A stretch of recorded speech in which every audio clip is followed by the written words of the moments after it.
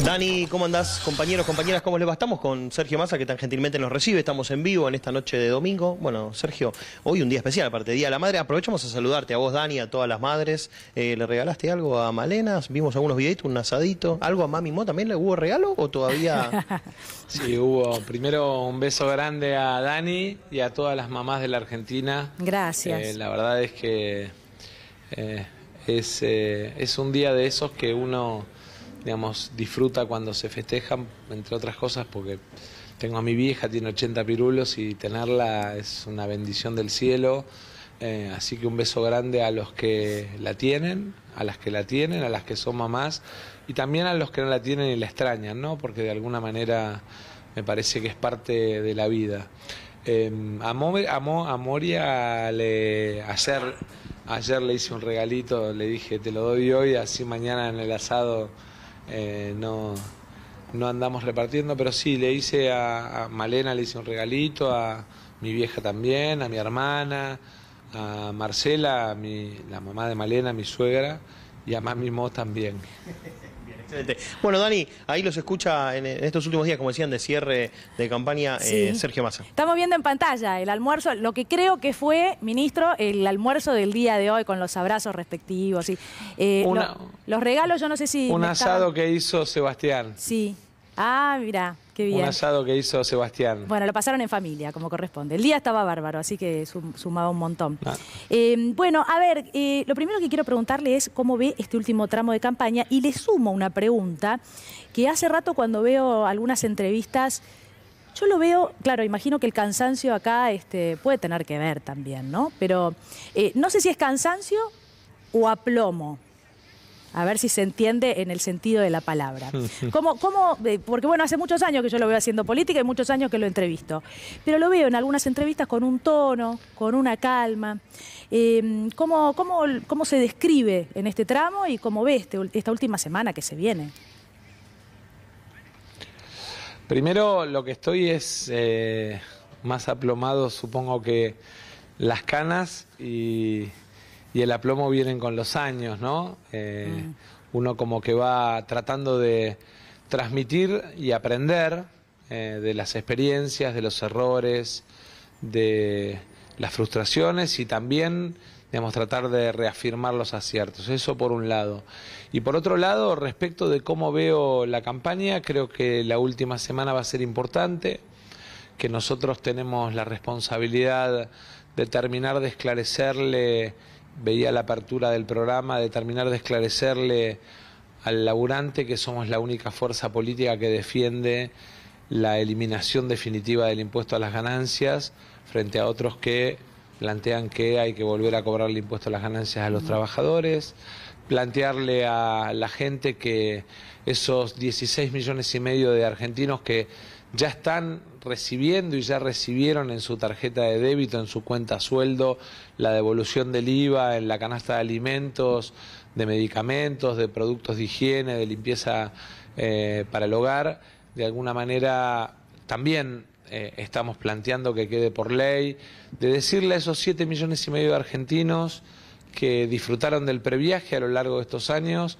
que mañana vamos a presentar los números de este fin de semana junto al ministro Lamens en Potrero de los Funes en San Luis eh, y además vamos a presentar la ley que deja el previaje como una política permanente. A futuro, claro. ¿eh? porque escucho y escuché en la campaña, escuché en la campaña que hay fuerzas políticas que quieren eliminar el previaje eh, y de alguna manera me parece que plantearlo así, ¿no? El tema de la política universitaria, dejar claro el tema de que el- la universidad no puede ser arancelada, como están planteando otros candidatos, y decirle a los pibes, cuidado porque eh, te quieren sacar la beca, porque dicen que el Estado no te tiene que dar la notebook, eh, cuidado a las mamás porque estamos frente a un candidato que plantea la libre portación de armas, yo quiero que los pibes lleven en la mochila una notebook cuando van a la escuela, no un arma, y que la puedan comprar en el supermercado. Cuidado porque, digamos, están planteando la eliminación de, por ejemplo, la vacunación gratuita como un mecanismo de protección del Estado.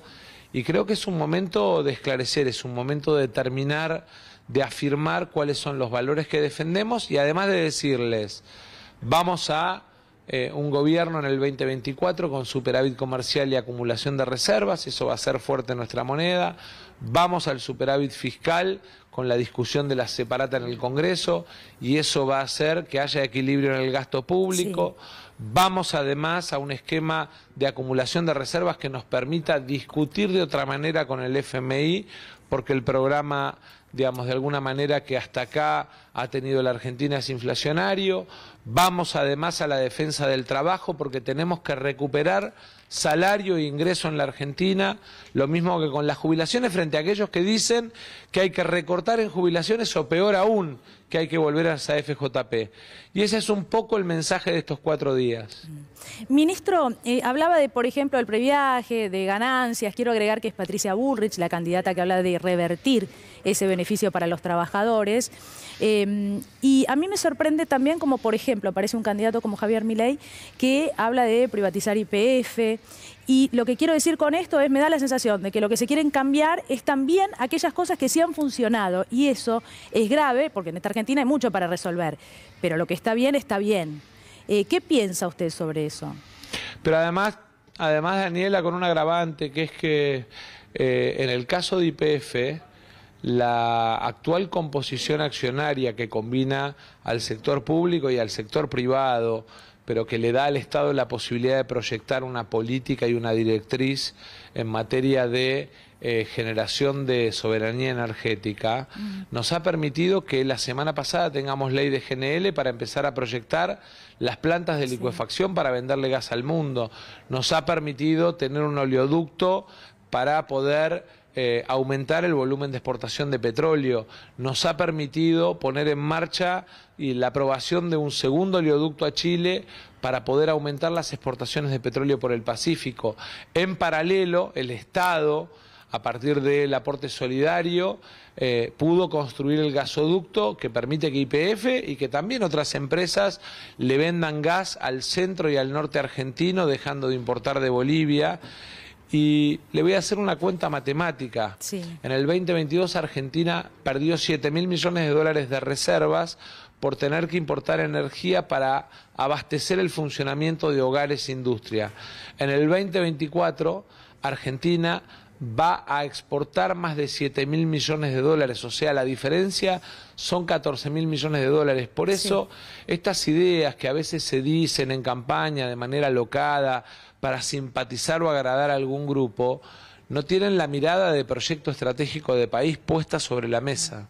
Bueno, con el gasoducto, de hecho, entiendo que en 2024, ah, le agrego esto, eh, porque es importante, son 4 mil millones entre los dos semestres, ¿no? 4 mil anuales. Es un ahorro importantísimo también, ¿no? A partir de esa obra. Eh, ministro, eh, bueno, la Semana Económica... No solamente eso, Daniela. Sí, sí. También son, digamos, es la posibilidad de lo que ahorramos y es la posibilidad de lo que nos permite exportar, porque con la finalización del gasoducto del norte, entramos por el norte de Chile a Chile, entramos por Bolivia al centro de Brasil, además tenemos la oportunidad de usar Uruguayana y el Cruz del Sur, y eso nos abre mercados de exportación de gas que nos dan una oportunidad única de crecimiento de nuestra balanza comercial positiva. ¿Cuál es el mejor remedio para bajar la inflación? Juntar más dólares de los que gastamos, acumular reservas, equilibrar el gasto y además tener con el programa del fondo un programa que privilegie el desarrollo argentino y que no sea inflacionario. Em, quería preguntarle por el, gobierno de unidad, esto de convocar a otros sectores, porque ahora también le quieren preguntar, por supuesto, mis compañeros. Habló en las últimas horas Emiliano Jacobiti, bueno, algunos radicales ya se expresaron sobre lo que podría pasar a partir del domingo próximo. Falta muy poco tiempo. La pregunta es si ya hubo conversaciones, si hay conversaciones avanzadas para esas alianzas. Una de las mayores críticas que me hicieron durante mucho tiempo es que tengo capacidad de dialogar con todos los sectores. Mm. Pero creo que es mi mayor fortaleza, porque el 10 de diciembre me va a permitir poder sentar a la mesa a distintos sectores económicos, sociales y políticos a la construcción de un gobierno de unidad nacional. Y el 10 de diciembre voy a construir un gobierno de unidad nacional. Y nadie se podría sorprender de que alguien que a lo mejor eh, como peronista participó del PRO, o alguien del radicalismo, o alguien de sectores del progresismo del socialismo integre mi gobierno, así como nadie se podría sorprender si convoco a sectores del campo, a sectores de la industria, del movimiento obrero o de los movimientos de la economía popular, porque creo que a la Argentina la construimos entre todos. Y creo que además es tiempo de que en la educación, en el desarrollo energético, en la política medioambiental, en la política de seguridad, en la política de salud, en la política de promoción y capacitación laboral para los trabajos del siglo XXI y en las políticas de distribución del ingreso y del sistema tributario argentino tengamos políticas de Estado. Creo que en cada una de esas políticas tenemos que tener acuerdos a 10 años. Gaby. Sí, ministro, buenas noches. Eh, usted estaba hablando del diálogo con distintos sectores, incluso del PRO, y también eh, se venía hablando de la posibilidad de que eh, tuviera alguna conversación con Horacio Rodríguez Larreta o que convocara a gente del equipo de Horacio Rodríguez Larreta. Ayer Patricia Burrich anunció que Rodríguez Larreta sería su eventual jefe de gabinete en caso de que ella sea electa presidenta. ¿Entiende que esta sería una manera de bloquear estos diálogos que usted está tratando de tender con algunos sectores de la oposición? No, porque la campaña termina el 22 de octubre o el día de la segunda vuelta termina y la responsabilidad de construir el país empieza, digamos, en el momento en que vos te sentás como presidente y tenés que convocar a todos. Y yo no dejo de conversar con ningún actor, ni de los sectores religiosos, ni de los sectores del mundo del trabajo, ni de los sectores políticos, porque creo que es muy importante entender que el 10 de diciembre hay que dar vuelta una página y empezar a construir políticas a 10 años con el tema deuda, como les decía recién, porque tenemos que resolver esta deuda criminal que tomó Macri y que dejó a la Argentina hipotecada y con un programa inflacionario. Hay que resolverla y la tenemos que resolver en un acuerdo de todos. Bien, a, mí me gustaría. Está Felicita Bonavita, está Pablo Ibáñez. Le, cuento al ministro para que sepa quiénes le van a preguntar. Feli. Ministro, buenas noches. Los escuché, los escuché antes. me, gustaría preguntarle por un tema muy concreto que genera mucha preocupación en la calle. Usted le dio un mensaje muy claro a los especuladores esta semana. Se refería puntualmente a los especuladores que estuvieron alentando la corrida cambiaria. Eh, pero yo le quiero preguntar por los que especulan con los precios. Delincuentes. Delincuentes. Mire, mire cómo le traslado. Delincuentes. Le, pregunto, por los que especulan con los precios, porque no sé si usted también comprende que hay una finalidad política, una búsqueda política ahí también, porque esta semana sin sustento, porque lo que aumentó fue el dólar ilegal, trasladaron en varias oportunidades aumentos a las góndolas. Sí, lo peor de todo es que lo hicieron en los canales informales. Eh, lo hicieron vía las distribuidoras en los mercados de barrio y no lo hicieron en los supermercados. Eh, tenemos detectadas cuáles son las compañías que lo hicieron y no nos va a temblar el pulso para aplicar multas, sanciones, clausuras, lo que corresponda. Ahora, primero, ya hay seis detenidos, ¿no? Y además hay un ciudadano que tiene prohibición de salida del país. Vamos a seguir con los allanamientos pedidos a la justicia, vamos a seguir con las investigaciones porque además en esta financiera que operaba contra el tipo de cambio, en la fuga de divisas, en la evasión de impuestos, en el lavado de dinero, lo que se encontró además es un proceso de conexidad con otros que no terminó en el allanamiento del día viernes, va a seguir esta semana, porque aquellos que especulan contra el ahorro de la gente, o peor aún, que especulan contra la recuperación de ingresos que representó esta devolución del IVA, la eliminación del impuesto a las ganancias, la reducción de impuestos a las pymes, el crédito para los jubilados o el crédito para los monotributistas o la reducción de impuestos para monotributistas y autónomos que decidimos en los últimos 40 días, de alguna manera lo tienen que pagar y la sociedad tiene que ver que tienen castigo. Históricamente estos procesos se dieron y la gente no, no terminó de ver, más allá de la responsabilidad política de alguna declaración o de declaraciones irresponsables, a caballo de las declaraciones irresponsables, lo que hubo es delincuentes que montaron una operación económica para ganar plata a costa del ahorro de la gente. Y tienen que pagar con cárcel.